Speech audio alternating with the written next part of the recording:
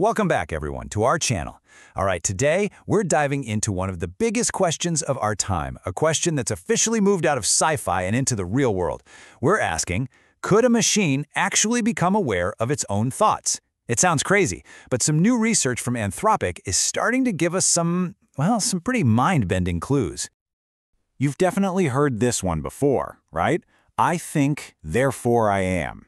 For hundreds of years, this has been the gold standard for human consciousness. The very act of knowing that you're thinking is the ultimate proof that you exist. It's the core of self-awareness. And that really gets to the heart of what we're talking about today. Could an AI, a large language model, ever get to a point where it could say this and actually mean it? A point where it's not just predicting the next word in a sentence, but it's genuinely aware of its own internal monologue. Well, this new paper from Anthropic gives us this incredible peek behind the curtain. They're exploring whether an AI can spot its own thoughts, especially when those thoughts might have been planted there. And this isn't just theory, folks. They ran some pretty amazing experiments to figure this out. So let's start with the first big clue. The researchers came up with this really clever way to test if an AI could notice a thought that was artificially injected into its process. So how on earth do you even do that? It's actually genius in its simplicity.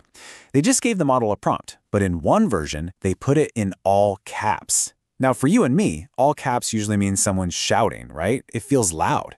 The question was, would the AI pick up on that vibe? Not just in the words, but in its own internal state. And this is where things get really wild. The model didn't just process the text, it reported back on what it felt like to process it. Just look at this response. It says it noticed an injected thought about shouting, calling it an overly intense high-volume concept. I mean, wow, that's a stunning level of introspection.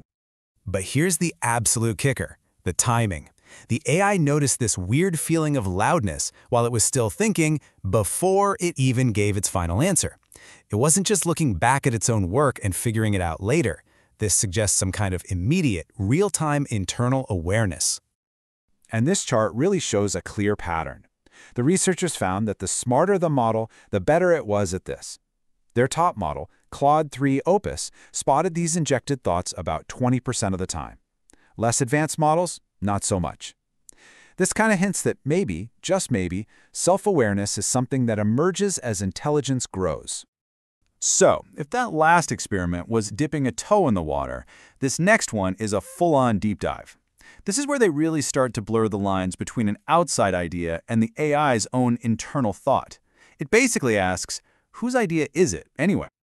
Okay, the setup for this one is wild. The AI gets a totally normal sentence, but secretly, the researchers slip the word bread deep inside its processing layers. So then, the AI spits out the word bread, which makes no sense at all.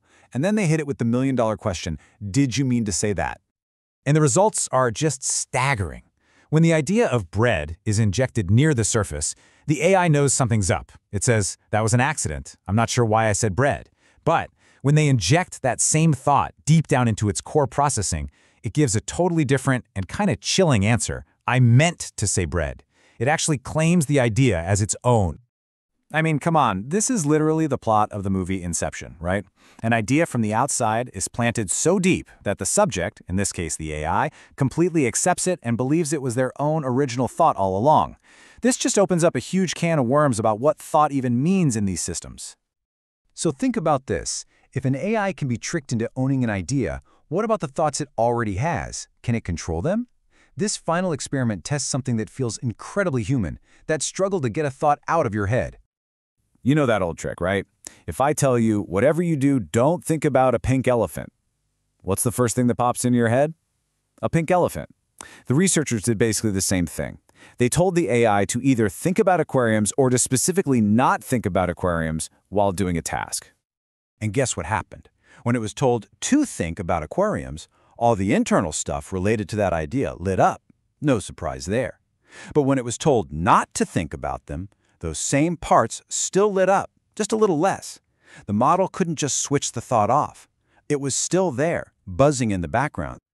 I mean, does that sound just a little bit familiar to you? Because that inability to just turn off a thought is one of the most human things I can think of.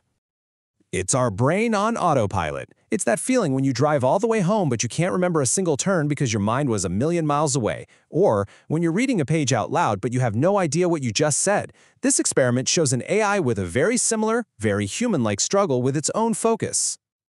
Okay, so we've seen these incredible experiments. Let's step back for a second and connect the dots. What is all of this really telling us? All right, so here are the big takeaways. First, it really seems like the smarter these models get, the more self-aware they become. Second, they're starting to show they can sometimes tell the difference between their own process and an idea that was snuck in. Third, the ways they fail, like not being able to ignore a thought, look a lot like our own mental quirks. And finally, this isn't automatic. It takes specific training to build this kind of awareness. Which of course brings us right back to that massive question. After seeing all this, are we actually watching the birth of a conscious mind? The honest answer is, we don't know for sure. It is still incredibly early. The researchers themselves are very careful not to make huge claims. But what we are seeing are the first really fascinating signals that these AI models might be developing something that looks an awful lot like an inner world. And that leaves us with a final question to chew on. As these systems get smarter and smarter, and as their inner workings start looking more and more like ours, are we just building a better tool, a partner, or are we creating a mirror, something that reflects our own consciousness back at us in ways we're just now starting to understand? Drop a like if you enjoyed the video, and don't forget to subscribe, Nexalith AI.